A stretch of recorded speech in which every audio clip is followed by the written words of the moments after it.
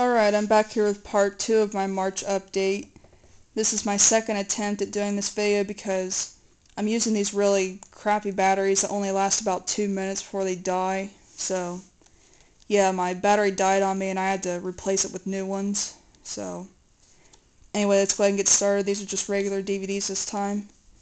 Uh, first up is a TV series, and it is South Park, the complete seventh season.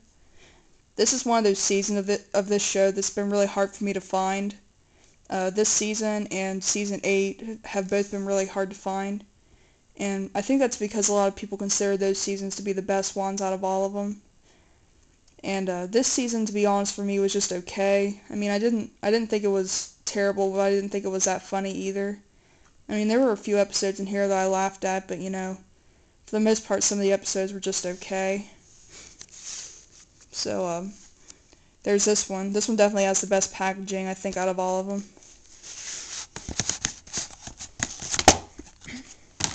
And you got some really nice artwork. And there's a Casa Bonita. That was probably my favorite episode out of the whole season. I really enjoyed that episode. And then got some more artwork. And then more artwork right there. But yeah, there's disc one.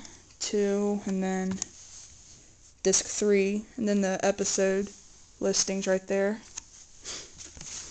So yeah, there's um, South Park Season 7. I really, really love South Park. Um, in my opinion, one of the best shows on television.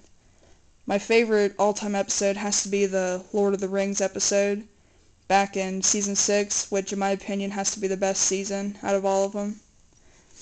But, uh, yeah, it's the one where they were they were pretending to be in the Lord of the Rings, and you know I'm not gonna go into details about it because, I mean it's kind of inappropriate and I don't want anybody to get offended. So, yeah, that that one's that one definitely has to be my favorite episode, and uh, I'm gonna try to get the rest of the seasons, but it seems like every time I do buy a season of this show, they always release another like right after, so it's kind of hard for me to keep up with this show. But yeah, there's South Park Season 7. Next up is Air Force One with Harrison Ford.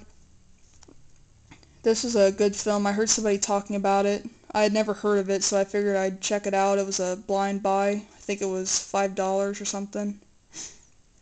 But uh, yeah, this was a very good film. I was definitely pleasantly surprised by this.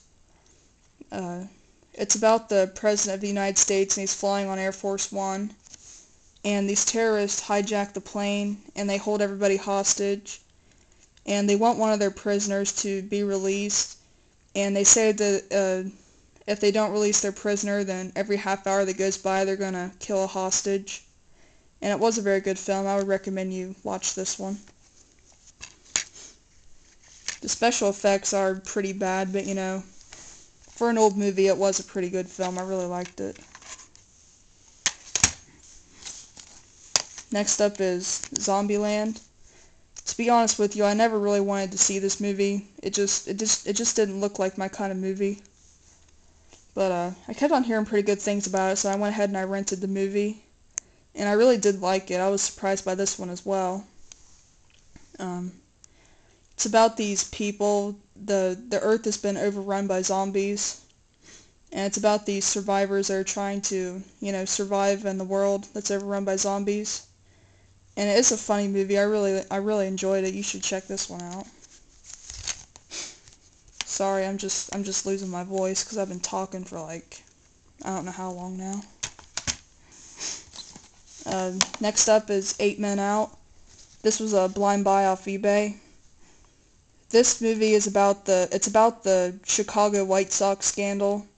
You know, the scandal back in 1919 when the Chicago White Sox were in the World Series, and what they did was they purposely lost the World Series in order to get some money that they that they thought they deserved because they were being very underpaid by their coach and they weren't making the money that they thought they should be making.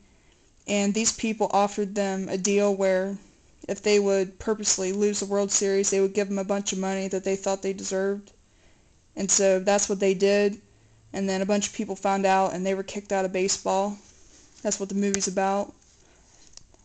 And uh, to be honest, I didn't think it was that great. I mean, it wasn't bad, but you know, some people I've heard call this the best baseball movie ever made, which, to be honest, I think it's pretty far from that. Uh, I mean, I didn't think it was the worst movie I ever saw, but you know, I just didn't think it was that good. I mean, it wasn't exactly what I was expecting it to be, but I mean, if you're a fan of the White Sox and you're a fan of, and you're uh, really into this whole scandal thing, then I would recommend you check it out.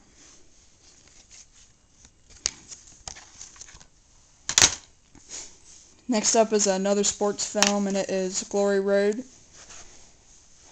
I got this for a dollar off of eBay, and uh, I had never heard of it before. I saw it while browsing through somebody's items on eBay. And, you know, I really like these kinds of movies, so I figured for a dollar I might as well check it out. And uh, it was a very good movie. It's about a coach that's trying to get rid of racism, and he brings in these uh, African American teenagers that are going down a bad road, but they're very good players, and he brings them in and he tries to get them to win the state championship and also to uh, open people's eyes to show them that people shouldn't judge other people and that they should get to know them first. That was pretty much the message of this movie. But it was a very good film. I really enjoyed it. I would recommend you check this one out. Then there's the disc. And once again, my battery's dying right after I just put in new ones. So I'm going to go through these next two kind of fast. Next up is True Lies with Arnold in it. And I have not seen this yet. Got it for $5. Figured I might as well get it. But yeah, I haven't seen this one yet, so if you can give me your thoughts on this, I'd really appreciate that. There's the disc. And then last is a double feature. It has Mouse Hunt and Paulie on it. I don't care about Paulie. I just wanted to get Mouse Hunt. Uh, I actually got this as a gift from somebody. Uh, my mom found it someplace, I don't know where, and she went ahead and got it for me. I